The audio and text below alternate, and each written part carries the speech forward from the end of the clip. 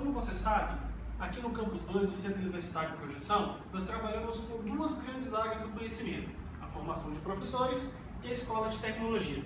Hoje eu estou aqui no laboratório justamente para falar para você sobre os cursos de tecnologia. Eles são divididos em dois cursos, os cursos tecnólogos e os bacharéis. Os tecnólogos têm duração de dois anos e meio, e aqui no Campus 2 nós temos o curso de redes de computadores e o análise de desenvolvimento. Temos também sistema de formação, que tem duração de quatro anos, e o novíssimo curso de engenharia civil. Venha nos visitar, venha nos conhecer, ou então entre em contato pelo telefone 3451 3999. Aqui no Projeção é para sempre. Eu estou te esperando. Vem!